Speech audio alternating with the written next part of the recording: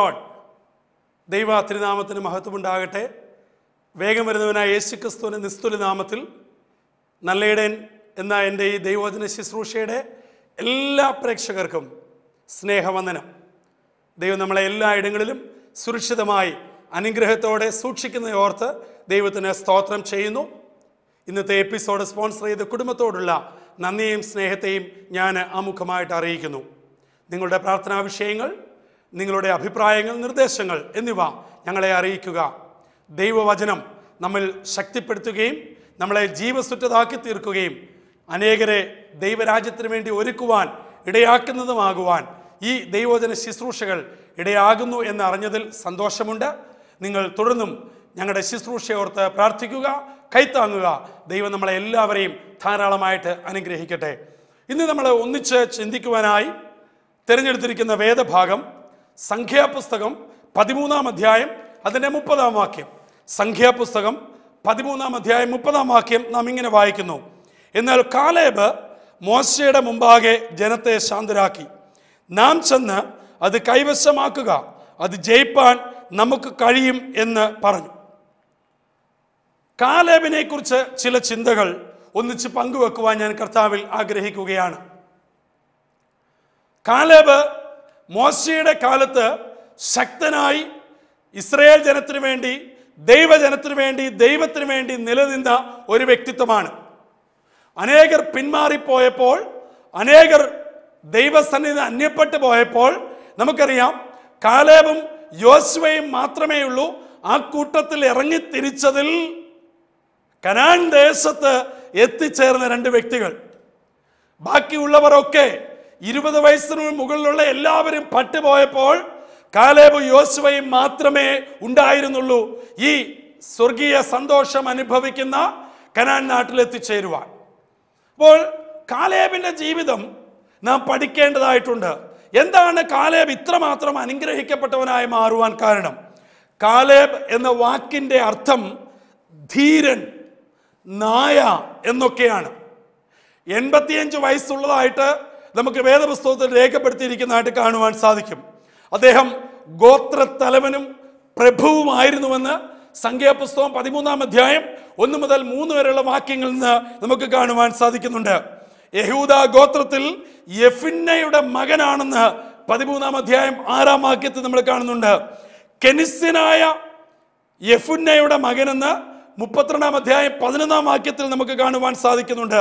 യോശുവയുടെ പുസ്തകം പതിനാലാം അധ്യായം ആറാം വാക്യത്തിൽ കെനിസ്യർ എന്ന ജാതികളുടെ മധ്യയെ വസിച്ചതിനാലാണ് കെനിസ്യനയുടെ കെനിസ്യനായ എഫിന്നയുടെ മകൻ എന്ന പേരിന് അർഹനായി തീർന്നത് അപ്പോൾ ഇതാണ് കാലേബിന്റെ ഒരു ജനറൽ ആയിട്ടുള്ള വേദപുസ്തകം നൽകുന്ന ഇൻഫർമേഷൻസ്. എന്നാൽ വേദപുസ്തകം പഠിക്കുമ്പോൾ കാലേബിനെ കുറിച്ച് ഒത്തിരി ഗുണഗണങ്ങൾ നമുക്ക് പഠിക്കുവാനായിട്ടുണ്ട്. ജനം മുഴുവൻ ഇളകി നിന്നപ്പോൾ നമുക്കറിയാം രണ്ട് ഗ്രൂപ്പായി പന്ത്രണ്ട് പേരെ ഗോത്രപിതാക്കന്മാരെ ദേശം ഒറ്റുനോക്കുവാനായി മോശ അയക്കുകയുണ്ടായി. പത്ത് പേർ മടങ്ങി വന്നു. രണ്ടുപേരും മടങ്ങി വന്നു. പക്ഷേ ഇവർ രണ്ട് ഗ്രൂപ്പ് രണ്ട് വിധത്തിലാണ് സംസാരിച്ചത്.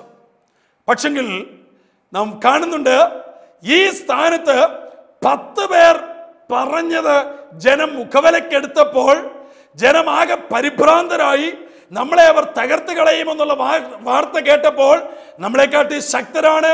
കാഴ്ചയ്ക്ക് തന്നെ നമ്മൾ അവരുടെ മുമ്പിൽ വെട്ടുക്കിളി പോലെ വെറും അല്പപ്രാണികളാണെന്നുള്ള അർത്ഥത്തിൽ അവർ സംസാരിച്ചപ്പോൾ ഇസ്രയേൽ ജനം എല്ലാം മറന്നു. എന്നാൽ ആ സമയത്താണ് കാലേബ് രംഗപ്രവേശം ചെയ്ത് അവരെ ശാന്തരാക്കി. അവരോട് പറയുകയാണ് നിങ്ങൾ എന്താണ് പറയുന്നത്? നമ്മൾ അവരെ ജയിക്കും.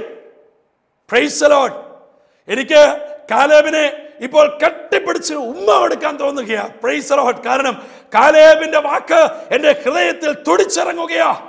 ദൈവമക്കളെ അമാലേക്ക് മല്ലന്മാരുണ്ട്. വലിയ വലിയ ശത്രുക്കളുണ്ട്.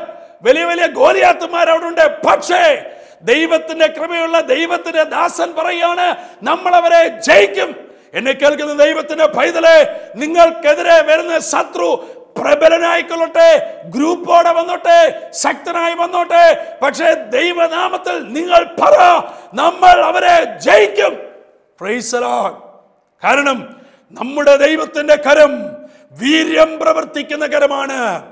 അവന്റെ കരം ഉയർന്നിരിക്കുന്ന കരമാണ്. അവന്റെ കരം ബലമുള്ള കരമാണ്. അവന്റെ കരത്തിന്റെ കീഴിൽ ഇരിക്കുന്ന ദൈവ പൈതലിനെ അവൻ വിജയം തരും. അതുകൊണ്ട് അവൻ തക്ക സമയത്ത് നിങ്ങളെ ഉയർത്തേണ്ടതിന് ദൈവത്തിന്റെ ബലമുള്ള കൈക്കീഴിൽ തണിരിപ്പീൻ.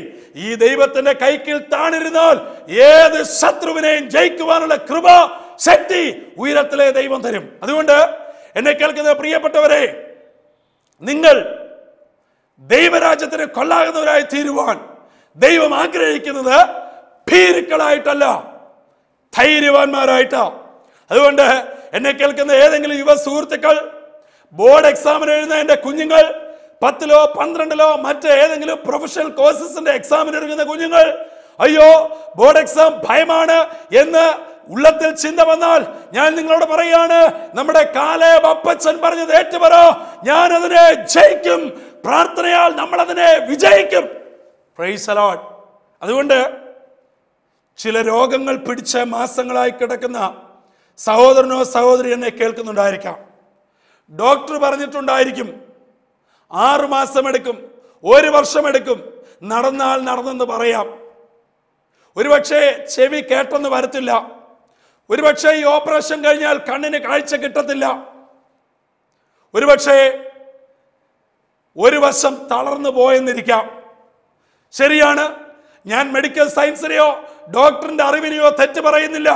എന്നാൽ ഇന്ന് ഈ ദൈവത്തിന്റെ വചനത്തിന്റെ അടിസ്ഥാനത്തിൽ എനിക്ക് നിങ്ങളോട് ഒരു കാര്യം പറയാനുണ്ട്. നല്ല ഇടയനാകുന്ന യേശുവാകുന്ന വലിയ വൈദ്യൻ നിങ്ങളോട് പറയുന്നു ഞാൻ നിന്നെ സൗഖ്യമാക്കുന്ന ഹോവയാണ് അതുകൊണ്ട് നിങ്ങളുടെ രോഗത്തോട് ഡോക്ടർ പറഞ്ഞ എല്ലാ നിർദ്ദേശങ്ങളോടും പൂർണ ബഹുമാനത്തോട് നിങ്ങൾ പറയുക ഞാൻ ഇതിനെ ജയിക്കും.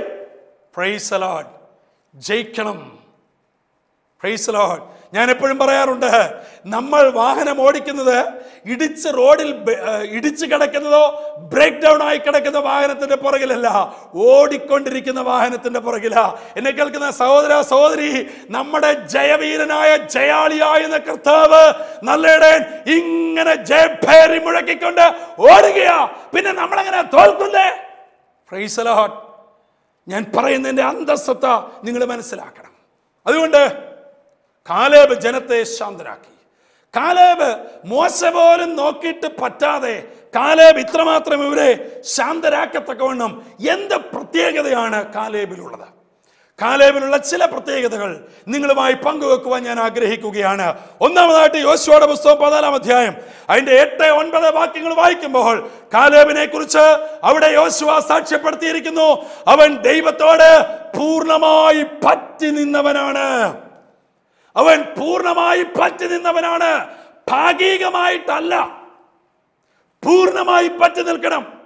എന്നെ കേൾക്കുന്ന ആരെങ്കിലും നിങ്ങൾ ഈ ഭാഗികമായിട്ടുള്ള വിശ്വാസത്തിലുണ്ടെങ്കിൽ സഹോദര നിങ്ങളെ സ്വർഗത്തിലെ ദൈവം ഉമിണ്ണുകളയും. അങ്ങനെയുള്ളവരെ ദൈവത്തിന് വേണ്ട. ഒന്ന് നീ ശീതവാനായിരിക്കണം അല്ലെങ്കിൽ നീ ഉഷ്ണവാനായിരിക്കണം.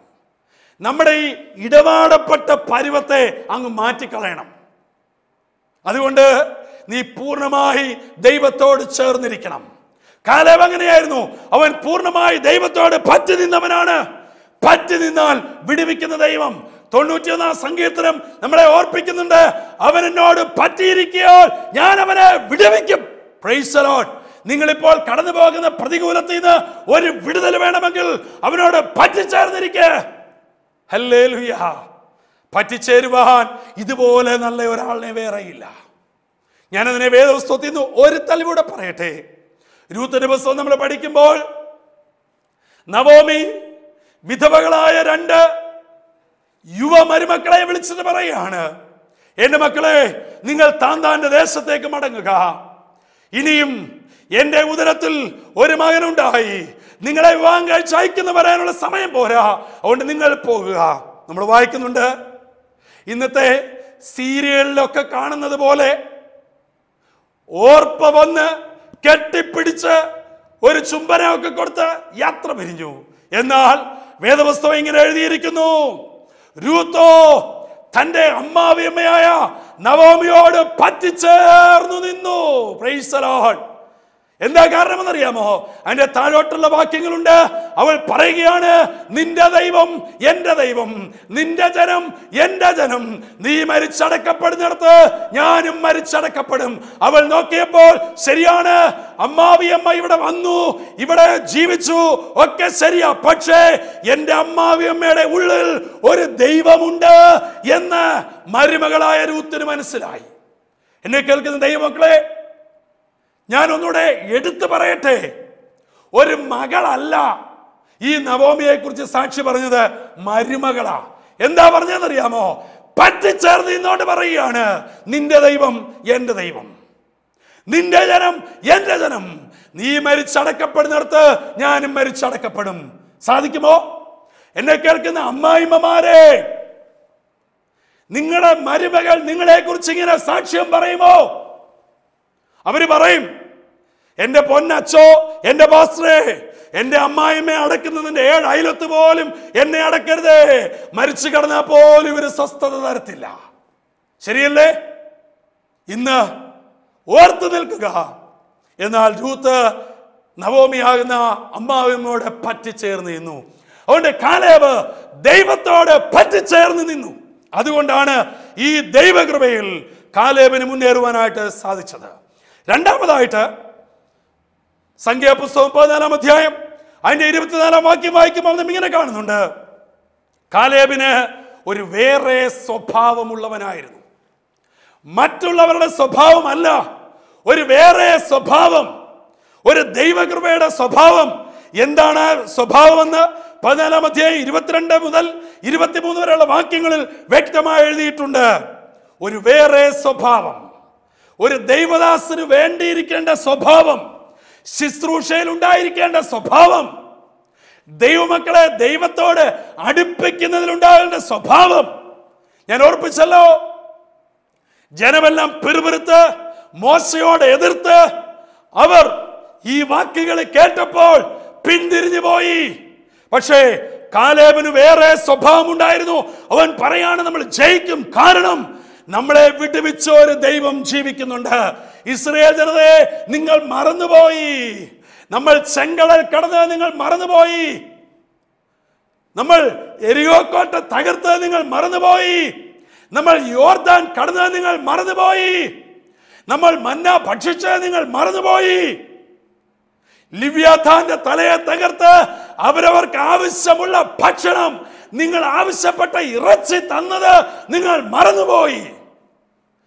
തന്നെ നടത്തിയ ദൈവത്തെ മറക്കാത്ത ഒരു ദിവ്യ സ്വഭാവത്തിന്റെ ഉടമയായിരുന്നു കാലേ താങ്കൾ എങ്ങനെയാണോ നമ്മുടെ സ്വഭാവം നമുക്കൊന്ന് പുനഃപരിശോധന ചെയ്യാം.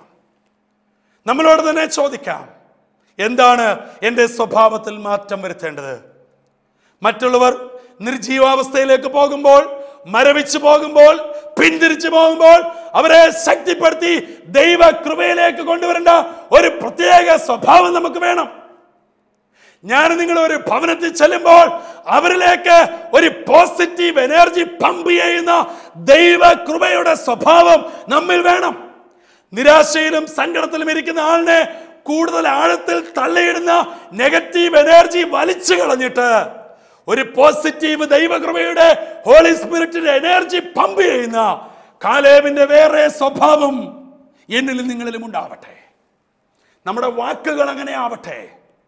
നമ്മുടെ വാക്കുകൾ ഉവ ഉവ എന്നും ഇല്ല ഇല്ല എന്നുമായിരിക്കട്ടെ അതിന്റെ അധികമായി വരുന്നതൊക്കെയും ദുഷ്ടൻ എന്ന് വരുന്നതാണ്. നമ്മുടെ നാവിന്മേലാണ് അനുഗ്രഹവും ശാപവും ഇരിക്കുന്നത്. അതുകൊണ്ട് നമുക്കൊരു വേറെ സ്വഭാവം ഉണ്ടായിരിക്കണം. ഞാൻ എപ്പോഴും പറയും നമ്മുടെ കുഞ്ഞുങ്ങളെ അനുഗ്രഹിച്ച് പ്രാർത്ഥിച്ചു വിടണം. കാലേബ് ഒരു വേറെ സ്വഭാവത്തിന്റെ ഉടമയായിരുന്നു. അതാണ് കാലേബിന്റെ ഒരു പ്രത്യേകത. മൂന്നാമതായിട്ട് കാലേബിന്റെ മറ്റൊരു പ്രത്യേകത. പതിനാലാം അധ്യായം സംഖ്യാപുസ്തകം പതിനാലാം അധ്യായം ഇരുപത്തിനാലാം വാക്യത്തിൽ വായിക്കുന്നു അവൻ ദൈവത്തെ പൂർണമായി അനുസരിച്ചവനായിരുന്നു. എന്റെ വചന ശുശ്രൂഷകൾ ഒത്തിരി സ്ഥലങ്ങളിൽ ദൈവത്തെ അനുസരിക്കുന്ന അനേക ഭാഗങ്ങൾ വരാറുണ്ട്. അതൊരു പക്ഷേ എന്റെ ജീവിതത്തോട് ചേർന്ന് ഞാൻ ദൈവസന്നിധി സമർപ്പിക്കുന്ന ഓരോ യാഗങ്ങളായിട്ട് അത് മാറുകയാ. ദൈവത്തെ അനുസരിക്കേണ്ടതുപോലെ അനുസരിപ്പാൻ. ദൈവം പറയുന്നത് പോലെ അനുസരിപ്പാൻ. കാലേബ് ദൈവം എന്തു പറഞ്ഞോ അത് അതുപോലെ അനുസരിച്ചു. അത് അതുപോലെ വിശ്വസിച്ചു. വിശ്വസിക്കാത്ത ഒരാൾക്ക് ഒരിക്കലും അനുസരിക്കാൻ പറ്റത്തില്ല. അനേക ഭക്തന്മാർ ദൈവത്തിൽ വിശ്വസിച്ചത് കൊണ്ടാണ് ദൈവം അവരെ അനുഗ്രഹിച്ചത്. അതുകൊണ്ട് നമ്മുടെ കുടുംബങ്ങളും ദേശങ്ങളും അനുഗ്രഹിക്കപ്പെടണമെങ്കിൽ നാം ദൈവത്തെ അനുസരിക്കണം. അത് നമ്മുടെ തോത് വെച്ചല്ല. ദൈവം പറയുന്ന ദൈവിക തോതനുസരിച്ച് നാം അനുസരിക്കാൻ തയ്യാറാകുമ്പോൾ എന്നെയും നിങ്ങളെയും അനുഗ്രഹിക്കുവാൻ ദൈവം മതിയായവന. അതുകൊണ്ട് ഞാൻ പറഞ്ഞു പോകട്ടെ. മൂന്നാമതായിട്ട് അവൻ പൂർണമായി ദൈവത്തെ അനുസരിച്ചു. നമ്മളും അനുസരിക്കും. ഭാഗികമാ അല്ലേ? നമ്മുടെ കാര്യം നടക്കണം. എല്ലാ കാര്യവും നടക്കണം. ദൈവത്തെ അതെല്ലാം കഴിഞ്ഞ് അനുസരിക്കും. പോര സഹോദര. ഇന്ന് ഞാനും നിങ്ങളും നേരിടുന്ന തകർച്ചയ്ക്കും അപജയത്തിന്റെ കാരണം ഈ അല്പവിശ്വാസവും അല്പാനുസരണവുമാണ്.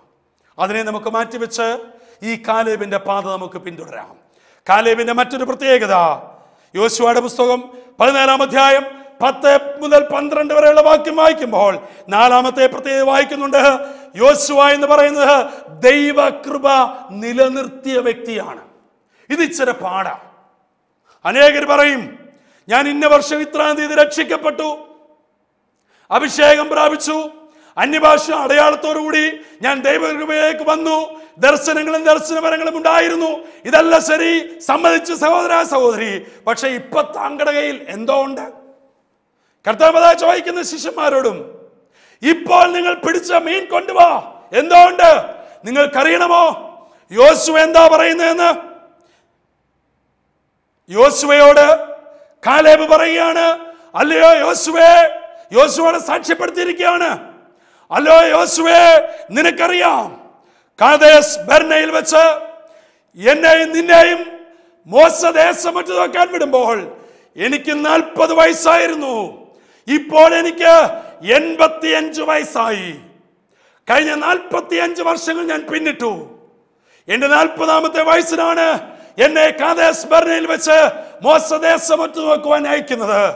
എന്നാൽ എൺപത്തിയഞ്ചാമത്തെ വയസ്സിലും എനിക്ക് ആരോഗ്യമുണ്ട്. നീ ആ ദേശം എനിക്ക് വിട്ടു തരിക ഞാൻ അതിനെ പോയി കീഴ്പ്പെടുത്താം. ആ മല എനിക്കിതാ ഞാൻ അതിനെ ജയിച്ചെടുക്കാം. ഇതാണ് ദൈവകൃപ. ഈ കൃപ നിങ്ങൾക്കുണ്ടോ പ്രിയമുള്ളവരെ? എന്നെ കേൾക്കുന്ന ദൈവത്തിന്റെ പൈതലേ ഒരുപക്ഷെ ശരീരം പ്രായം കൊണ്ട് ശുഷ്കിച്ചിരിക്കാം ആരോഗ്യം ക്ഷയിച്ചിരിക്കാം ശബ്ദമൽപ്പം മാറിയിരിക്കാം പല ആരോഗ്യ പ്രയാസങ്ങൾ നിങ്ങളെ നേരിട്ടു മെഡിസിൻ എടുത്ത് ബുദ്ധിമുട്ടായിരിക്കാം. പക്ഷേ നിങ്ങളുടെ ആത്മാവിന്റെ ശക്തി ഇരട്ടി പങ്കായി നിന്നിലുണ്ടോ? ഓ എൺപത്തിയഞ്ചാമത്തെ വയസ്സിൽ കാലേബിന്റെ സാക്ഷ്യമാ. കാതേസ് സ്മരണയിൽ വെച്ച് നാൽപ്പതാമത്തെ വയസ്സിൽ എന്നെ അയച്ച അതേ ആരോഗ്യം അതേ ശക്തി അതേ കൃപ അതേ പവർ ഇപ്പോഴും എന്നിലുണ്ട് ഈ എൺപത്തിയഞ്ചാമത്തെ വയസ്സിൽ. അതുകൊണ്ട് ദൈവകൃപയിലേക്ക് നമുക്ക് മടങ്ങി വരാം. അതുകൊണ്ട് ദൈവകൃപ നിലനിർത്തിയ വ്യക്തിയായിരുന്നു കാലേബ്. അതുകൊണ്ട് ലഭിക്കപ്പെട്ട കൃപയൊന്നും ആരും നഷ്ടപ്പെടുത്തരുത്. അത് ജ്വലിപ്പിച്ചുകൊണ്ടിരിക്കണം. പ്രാർത്ഥിച്ചും പാടിയും ഉപവസിച്ചും കൂട്ടായ്മയ്ക്ക് പോയും ആരാധനയ്ക്ക് പോയും. നിങ്ങൾ ഞായറാഴ്ചത്തെയോ വെള്ളിയാഴ്ചത്തെയോ ഒരു ആരാധന പള്ളിപ്രമാണികളായിട്ട് മാറരുത്. നിങ്ങളുടെ ദൈവാലയത്തിലെ ആരാധനയിലെ കൂട്ടായ്മയിലെ ചുറ്റുപാടുള്ള കൂട്ടായ്മകളിലെ സഭാ വ്യത്യാസം തന്നെ നിങ്ങൾ പോയി നിങ്ങൾക്ക് ലഭിക്കപ്പെട്ട കൃപകളും കൃപാവരങ്ങളും ജ്വലിപ്പിക്കണം. ഓ കാലേബിന്റെ എത്ര ധന്യമായ സാക്ഷ്യം. ഇറങ്ങിയ നാളത്തെ ദൈവകൃപ ഇപ്പോഴുമുണ്ടോ? കാലബിനെ കാണുമ്പോൾ ഞാൻ മുമ്പേ ഓർപ്പിച്ചല്ലോ ഒന്ന് സ്ട്രോങ്ലി ഒന്ന് ഹഗ് ചെയ്യണം. എന്താണെന്നറിയാമോ? എങ്ങനെ ഈ നാൽപ്പത്തഞ്ച് വർഷം ദൈവകൃപയിൽ മുന്നേറി? പ്രൈസ് അലോൺ അഞ്ചാമതായിട്ട് കാലേബിന്റെ പ്രത്യേകത. ന്യായാധിപന്മാരുടെ പുസ്തകം ഒന്നാം അധ്യായം എട്ട് മുതൽ പതിമൂന്ന് വരെയുള്ള വാക്യങ്ങൾ നമ്മൾ വായിക്കുമ്പോൾ ശത്രുവിനെ തകർക്കാൻ മറ്റുള്ളവർക്ക് പ്രേരണ നൽകുന്ന ഒരു ദൈവദാസനായിരുന്നു കാലേബ്. ശത്രുവിനെ തകർക്കുവാൻ പ്രേരണ നൽകുക. ശത്രുവിന്റെ മുമ്പിൽ നിന്ന് ഒളിച്ചോടുവാനല്ല ദൈവം നമ്മളെ വിളിച്ചതെന്ന് ഈ കാലേബ് ശക്തമായി ഓർമ്മിപ്പിക്കുകയാ. അടുത്ത തലമുറയോട് പറയുകയാണ് നിങ്ങൾ പോയി അവരെ പിടിച്ചടക്ക്. അങ്ങനെ പിടിച്ചടക്കി വരുന്നവർക്ക് എന്റെ മകൾ അക്സയെ ഞാൻ വിവാഹം ചെയ്തു കൊടുക്കും. നോക്ക് കാലേബ് ഓഫർ ചെയ്യുക. തന്റെ സ്വന്തം മകളെ ദൈവജനത്തിന് വേണ്ടി യുദ്ധം ചെയ്യുവാൻ ഓടി നടക്കുവാൻ തയ്യാറുള്ളവരെ എഴുന്നേൽപ്പിക്കുകയാ. ഈ സമയത്ത് ഞാൻ എന്റെ പ്രിയപ്പെട്ട ശ്രോതാക്കളോട് പറയുക നിങ്ങൾ നിങ്ങളുടെ മക്കൾക്ക് വേണ്ടി പ്രാർത്ഥിര് ജോലിയോട് കൂടെയോ പൂർണ സമയമോ സുവിശേഷ വേല ചെയ്യുവാൻ. ദൈവരാജ്യത്തിന് വേണ്ടി കൊടുക്കുവാൻ. ദശാംശം മാറ്റിവെച്ച് ലഭിക്കുന്നതിന്റെ നല്ല ഒരംശം ദൈവവേലയ്ക്ക് ദൈവമക്കൾക്ക് സുവിശേഷകർക്ക്. അത് എനിക്കെന്നോ ഈ സംഘടനയ്ക്കെന്നോ അല്ല ഞാൻ ഉദ്ദേശിച്ചത്. നിങ്ങളുടെ സമീപ പ്രദേശത്തുള്ള സാധുക്കളായ ഭക്തന്മാരായ ദൈവമക്കളുണ്ട്. സുവിശേഷ വേല ചെയ്യുന്നവരുണ്ട്. അവർക്ക് കൊടുപ്പാൻ ശീലിപ്പിക്ക് പ്രിയമുള്ളവരെ. അടുത്ത തലമുറയെ ഈ ദൈവജനം കൊടുത്ത് ശീലിപ്പിക്ക്. ഈ സുവിശേഷ വേലയിൽ അവരെ പങ്കാളികളാക്ക്. ഭവനത്തിൽ അവരെ പറഞ്ഞ് പഠിപ്പിക്ക്. പറയട്ടെ അടുത്ത തലമുറയെ ദൈവരാജ്യത്തിന് വേണ്ടി പ്രേരണ നൽകി ഒരുക്കുന്ന ഒരു വ്യക്തിത്വമായിരുന്നു കാലേബ്. ഞാൻ ആറാമത് അവസാനമായിട്ട് ഒരു കാര്യം കൂടെ പറയട്ടെ. അനുഗ്രഹം തലമുറയ്ക്ക് നൽകിയ വ്യക്തിയായിരുന്നു കാലേബ്. ന്യായാധിപനോട് പുസ്തകം ഒന്നാം അധ്യായം പതിനാല് പതിനഞ്ച് വാക്യങ്ങൾ വായിക്കുമ്പോൾ താൻ പിടിച്ചടക്കിയ പ്രദേശങ്ങൾ തന്റെ മകൾ അക്സ കഴുതപ്പുറത്തു നിന്ന് ഇറങ്ങി വന്നപ്പോൾ ചോദിച്ചു അപ്പനോട് എനിക്ക് നീരവുള്ള പ്രദേശം കൂടെ തരയണം അപ്പൻ താൻ പിടിച്ചടക്കിയ പർവതങ്ങളിലും താഴ്വരകളിലും നീരുറയുള്ള പ്രദേശം തന്റെ മകൾക്ക് ദാനം ചെയ്തു. അടുത്ത തലമുറയിലേക്ക് ഈ വചനം കൊടുത്തു. ഞാൻ ചോദിക്കട്ടെ താങ്കളുടെ കുടുംബത്തിൽ ഒരുപക്ഷെ താങ്കളും താങ്കളുടെ ഭാര്യയും അല്ലെ അപ്പനും അമ്മയും സുവിശേഷ വേല ചെയ്തവരാണ്. അടുത്ത തലമുറയിൽ ഈ വചനം എടുക്കുവാൻ നിന്റെ തലമുറയിൽ ആരെയും ഇത് ഏൽപ്പിച്ചിട്ടുണ്ടോ? വളരെ ഗൗരവപരമായ ചോദ്യമാണ് താങ്കൾ ഇതുവരെ ഉണ്ടത് താങ്കൾ ഇവരെ ജീവിച്ചത് സുവിശേഷ വേലയുടെ അന്നമാണ്. ആടിനെ വളർത്തുന്നവൻ ആടിനെ കൊണ്ട് ഉപജീവിക്കണം. പക്ഷേ അടുത്ത തലമുറയിൽ ഈ പെട്ടകം ചുമ്മുവാൻ താങ്കൾ ഏൽപ്പിച്ചിട്ടുണ്ടോ? കാലേബ് താൻ പിടിച്ചടക്കിയ പ്രദേശം നീരുറവയുള്ള പ്രദേശങ്ങൾ തന്റെ മകൾക്ക് ദാനം ചെയ്തു. ഒഗ്നിയേൽ അവളെ പ്രേരിപ്പിച്ചു. അക്സ കടന്നു വന്നപ്പോൾ അനുഗ്രഹത്തെ അപ്പൻ തന്റെ മകൾക്ക് കൊടുത്തു. കാലേബ് അനുഗ്രഹിക്കപ്പെട്ടവനായി. പ്രൈസ് ലോഡ് നിങ്ങൾക്ക് ഒരു ഇഷ്ടം തോന്നുന്നില്ലേ കാലേബിനോട്? നിങ്ങൾക്കൊരു താല്പര്യം തോന്നുന്നില്ലേ? പ്രൈസ് ലോഡ് എനിക്കറിയാം നിങ്ങളിപ്പോൾ ആഗ്രഹിക്കുകയാണ് കാലേബിനെ കിട്ടിയാൽ ഒന്നും മുത്തം ചെയ്യാം. എന്നാണെന്നറിയാമോ? ഇത്ര അനുഗ്രഹിക്കപ്പെട്ട ഒരു പിതാവ് ഇത്ര അനുഗ്രഹിക്കപ്പെട്ട ഒരു ദൈവദാസൻ. എന്നെ കേൾക്കുന്ന ദൈവത്തിന്റെ പൈതലേ ഞാൻ നിങ്ങളും ഈ കാലേബാകുവാൻ ദൈവം ആഗ്രഹിക്കുന്നു. അതുകൊണ്ട് ദൈവവനത്തിന് മുമ്പാകെ കീഴ്പ്പെടുക. കാലേബിനെ പോലെ പൂർണമായി പറ്റി നിൽക്കാം. വേറെ സ്വഭാവത്തിന് അടിമയാകാം. പൂർണമായി അനുസരിക്കാം. ദൈവകൃപ നിലനിർത്താം. മാത്രമല്ല മറ്റുള്ളവരെ ദൈവവേലയ്ക്ക് വേണ്ടി പ്രേരണ നൽകാം. നമുക്കുള്ളത് കൊടുക്കാം. അതിലുപരിയായി അടുത്ത തലമുറയെ ട്രെയിൻ ചെയ്ത് നമ്മുടെ നന്മകൾ അവരിലേക്ക് കൊടുക്കാം. അങ്ങനെ കർത്താവിന്റെ വരവ് വരെ ഈ ശുശ്രൂഷയിൽ പങ്കാളികളാകുവാൻ എന്നെ നിങ്ങളെ കർത്താവ് ആവശ്യപ്പെടുന്നു വിളിക്കുന്നു. അതിന് തയ്യാറാണെങ്കിൽ ആയിരിക്കുന്ന സ്ഥലത്തെ പ്രാർത്ഥനയ്ക്കായി തലകളെ വണക്കാം ഞങ്ങളുടെ ദൈവമേ സ്വർഗീയ പിതാവേ നല്ല സമയത്തിനായി സ്തോത്രം. കാലേബിൽ കൂടെ ഞങ്ങൾക്ക് ലഭിക്കപ്പെട്ട നല്ല ആലോചനയ്ക്കായി സ്തുതിക്കുന്നു. ഞങ്ങളും കാലേബിനെ പോലെ ധന്യരായ പിതാക്കന്മാരായി ശുശ്രൂഷയുടെ മുഖത്ത് മുന്നേറുവാൻ സഹായിക്കണം. ഞങ്ങളുടെ തലമുറയും അതിനായിട്ട് ഒരുക്കുവാൻ ഞങ്ങളെ ഏൽപ്പിച്ചു തരുന്നപ്പാ അങ്ങനെ കാലേബിനെ പോലെ ആയിത്തീരുവാൻ തീരുമാനമെടുത്ത ഈദിന്റെ കുഞ്ഞുങ്ങളെ സ്വീകരിച്ച് ദൈവരാജ്യത്തിന്റെ മക്കളാക്കി തീർക്കണം. അങ്ങനെ അവിടുന്ന് ചെയ്യുന്നതിനായി സ്തോത്രം. യേശുവിൻ നാമത്തിൽ അപേക്ഷിക്കുന്നു. കൃപയോട് കേൾക്കുമാറാകണമേ. ആമീൻ ആമീൻ ആമീൻ. ദൈവം നമ്മളെ എല്ലാവരെയും ഈ തിരുവചനങ്ങളാൽ അനുഗ്രഹിക്കട്ടെ. ഈ എപ്പിസോഡ് നമുക്ക് വേണ്ടി സ്പോൺസർ ചെയ്ത കുടുംബത്തോടുള്ള നന്ദി അറിയിക്കുന്നു. സർവശക്തനായ ദൈവം തന്റെ ചിറകിന്റെ നിഴലിൽ നമ്മെ എല്ലാവരെയും കാത്ത് പരിപാലിക്കുമാറാകട്ടെ. ആമീൻ.